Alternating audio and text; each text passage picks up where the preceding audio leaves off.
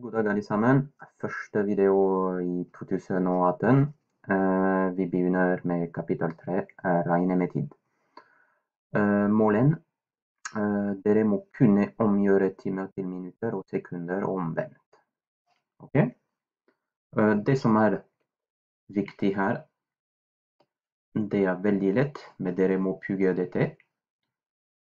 Det er at hvis dere vil omgjøre fra timer til minutter, må dere gange med 60. Om det er et antall timer i eletall eller desimaltall. Og hvis dere vil omgjøre fra minutter til sekunder, dere må gange også med 60. Og da hvis dere vil omgjøre direkte fra timer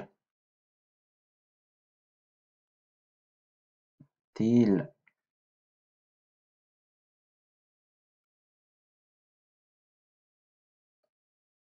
sekunder, da dere må gange med 3600.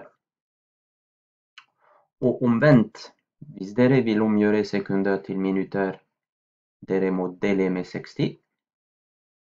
Hvis dere vil omgjøre minutter til timer, må dere dele med 60.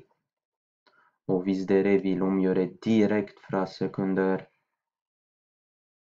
til timer, Beklager. Det er ikke så pent. Da må dere dele med 3600. Ok? Andre uh, verdi å kunne. Et år det er 365 dager, eller 366 dager hvert fjerde år. Et år det er 52 uker. Et år er 12 måneder. En uke er sju dager, og en døgn er 24 timer. Med alle disse verdiene kan dere klare å omgjøre fra timer til sekunder uh, til minutter omvendt, og med andre målenheter for tid. Ok? Uh, vi skal ta noen uh, eksempler.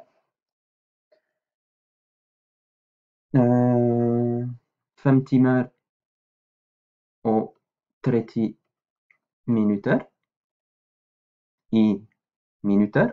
Det er 5 ganger 60 pluss 30. Det er 330 minutter. Ok?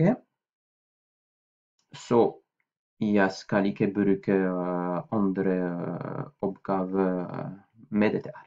Jeg skal ta noen andre oppgaver. Hvor mange sekunder er det i 8 minutter og 15 sekunder? Ok, da blir det 8 ganger 60 pluss 15. Da det blir 480 pluss 15. Da blir det 415 495 sekunder. Beklager.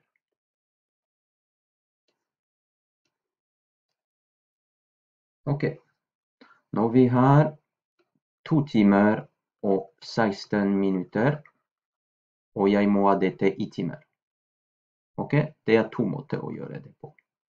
Jeg har i hvert fall to timer, så det er lik to pluss og så 16 minutter, så 16 delt på 60.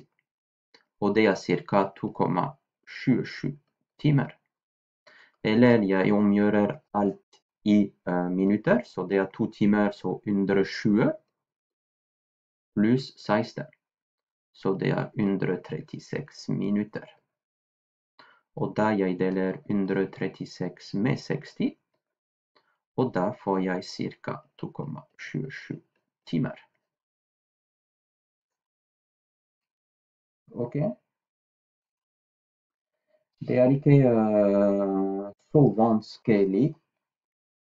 Uh, så bare pugg uh, hvordan vi omgjør fra timer til minutter til sekunder omvendt. Og alle de andre verdier som er her, beklager, der. Et år er 365 dager, og så videre. Ok, dette er veldig viktig for dere å kunne.